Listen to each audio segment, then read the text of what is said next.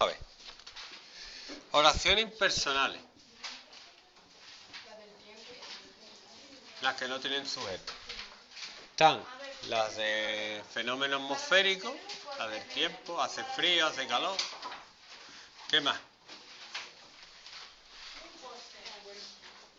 Hay mucha gente aquí, el verbo haber, también de impersonales, dos o tres.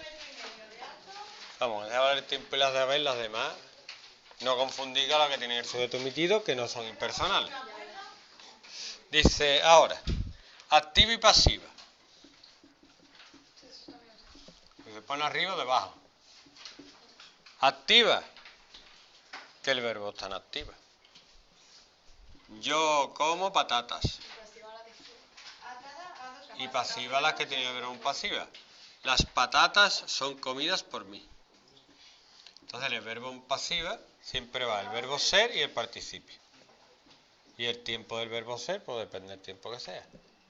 Esto es fácil de ver. A ti te piden que clasifique las oraciones y digas, eh, personal o impersonal, ¿tiene sujeto o no tiene sujeto? Activa o pasiva.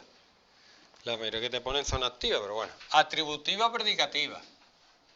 Pues las atributivas son las que tienen el verbo ser, estar o parecer y las predicativas el resto.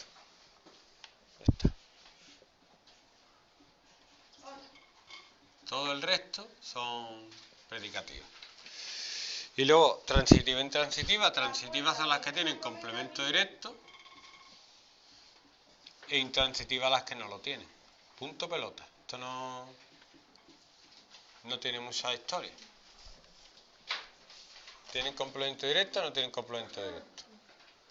Por ejemplo, yo como patata es transitiva. Yo cuento con Ana es intransitiva. No chicle, que no chicle. No chicle.